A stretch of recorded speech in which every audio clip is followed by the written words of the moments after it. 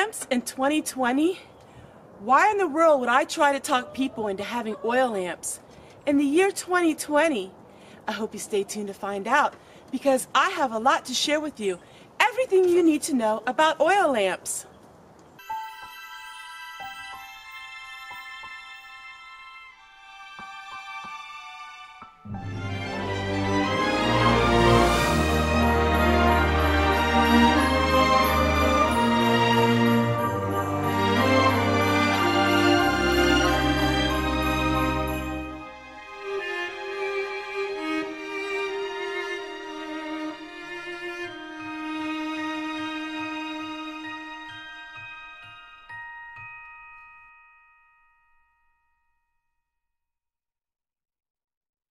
Welcome back everyone. Today I'm going to share with you a lot about oil lamps and why oil lamps are so special. I'm going to be in the year of 2020. Why would I want to tell you guys about oil lamps? And why has oil lamps been so effective in my life? There are so many kinds of oil lamps that you can find at the thrift store. Even on Walmart.com, you can find oil lamps for $12, glass ones that look antique. But why do I like oil lamps so much? This one here I got free all along the road in a box full of other oil lamps, which I had a video on. Oil lamps can give you such a beautiful life, and I'm going to share with you how you maintain an oil lamp, what you use in your oil lamp, and everything about oil lamps. For me, I started using oil lamps about 10 years ago, just to help create a more peaceful environment in my life. I love this look of oil lamps. I love the glow. It gave me peace and comfort. But not only does it give you peace and comfort, oil lamps also generate heat and generate heat in your home, which helps heat your home. There are kerosene that you can use. There is lamp oil. But what I like to use is called clean heat. That has a odorless, smell to it, and it produces a lot more heat than what regular oil lamp would. So let's get talking a little more about oil lamps.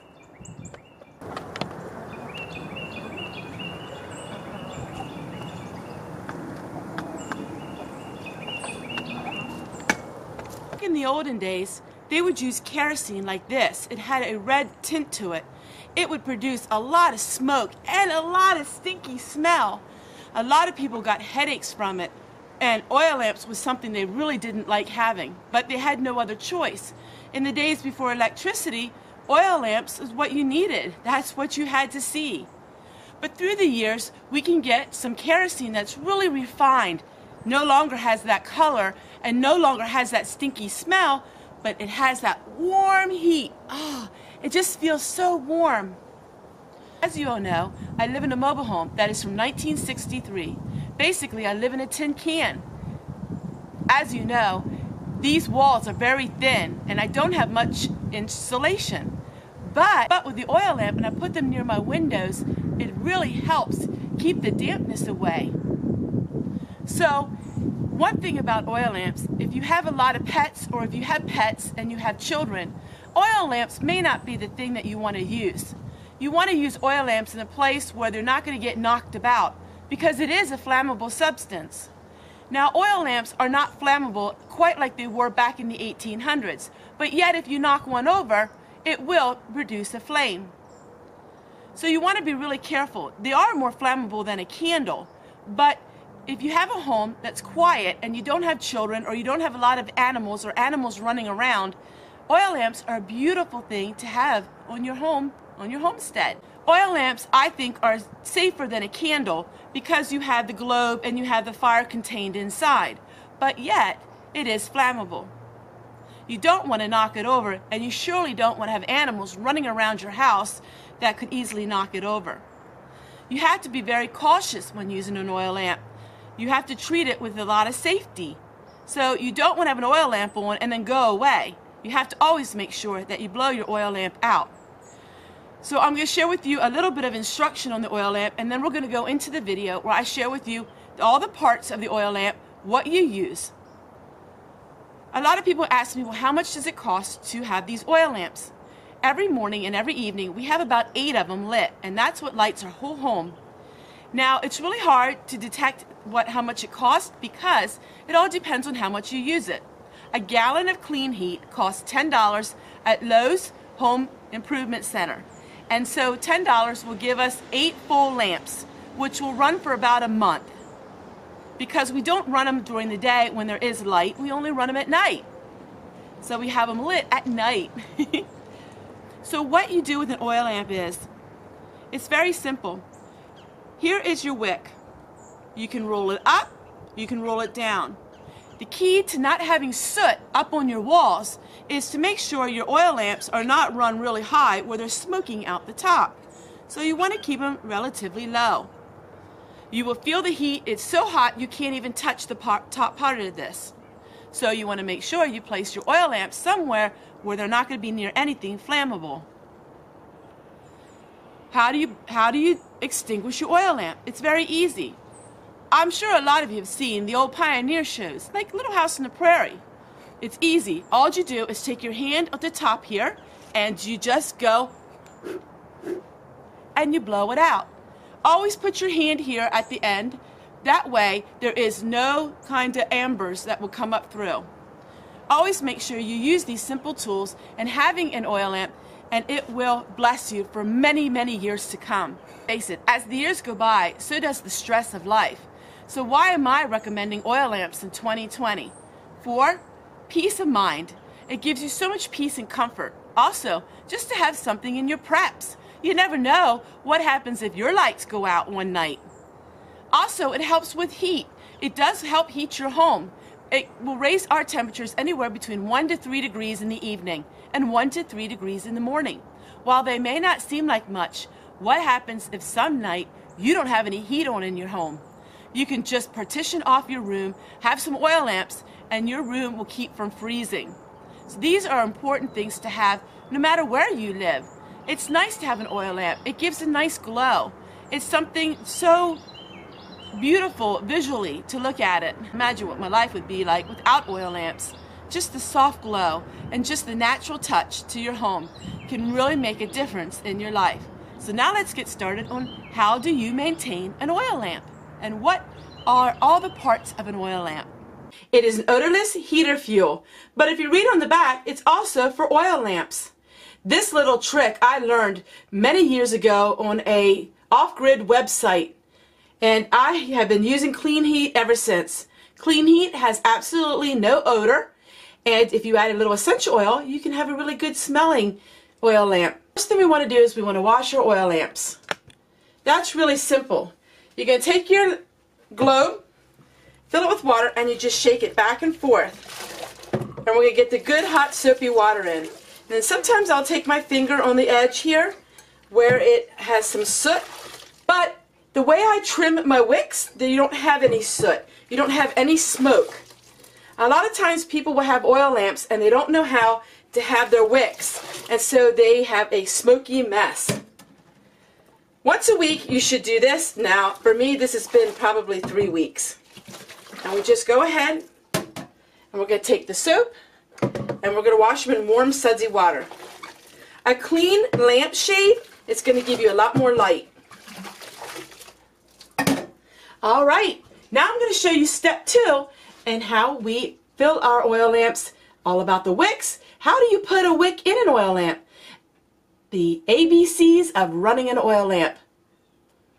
Okay, so we take our globes outside and this is what your oil lantern looks like.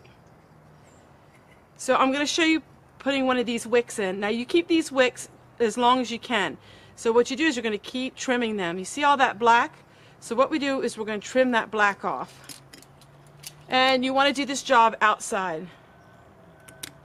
Also, I also snip off the corners so I have a nice bright light just like this.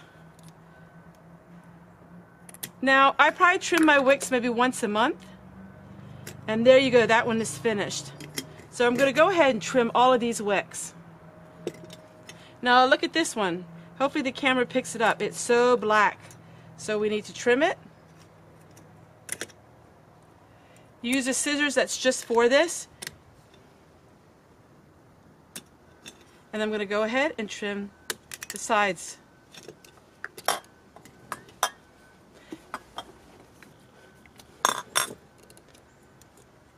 I'm going to go ahead and trim all these and then I'll show you when we fill the lanterns up.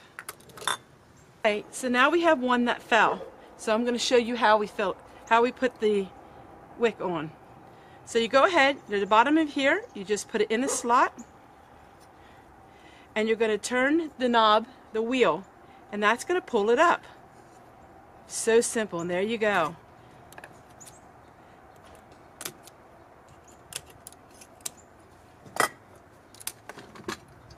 So now we're going to go ahead and now we're going to fill them.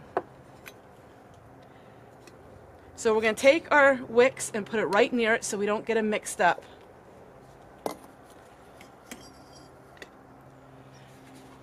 Now we're just going to go ahead and we're going to fill them.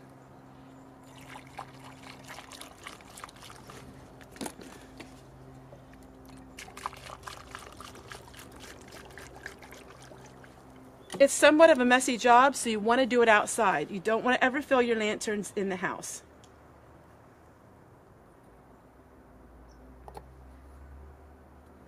And you always want to let just a little bit of air, just a little bit of space. You don't want to film the whole way to the top. All right, so that one's filled, and then what we're going to do is we're going to wipe them down, wash them off real good, and they're ready to go again for another probably month, month and a half. Now we're going to put a couple drops of essential oil in them. This one is sugar cookie. So a couple drops of the essential oil. I love putting essential oil in my oil lamps. It makes things smell so good. You would not believe it. You don't have to put that much in.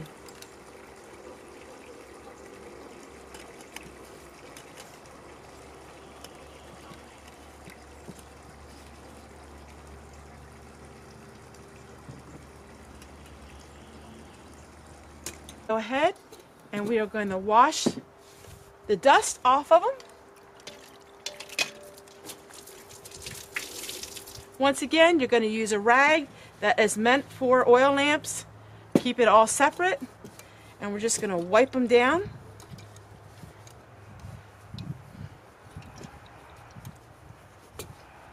Look how shiny and pretty they're looking. We put the globes on it and we're ready to go. Yes, it's a chore, but it's something so much fun and it gives you such warmth in your home and peace of mind. I want to re-emphasize, I do want to re-say again, whatever you do when you're using kerosene and you're using cloth like this, do not ever use this for anything else. Do not wash it in your washing machine and do not put it in your dryer. Now you worked with flammable fluid, so you keep this out somewhere in your garage or somewhere where you're going to work and use it again. Don't use this for your household and make sure you don't put it in your dryer. Set it out with all of your cleaning stuff out in your garage.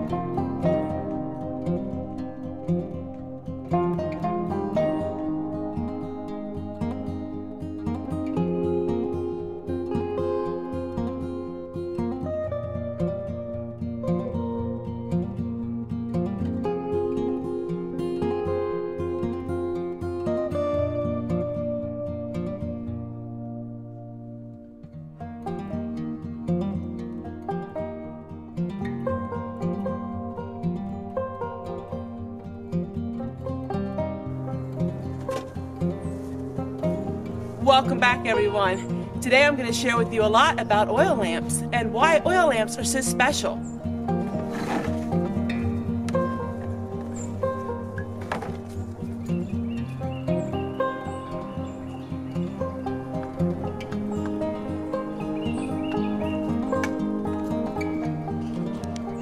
Everybody, if you like videos like these, if you like the old-fashioned way of living, can you do me a favor? Can you give me a thumbs up? And also, can you share my videos?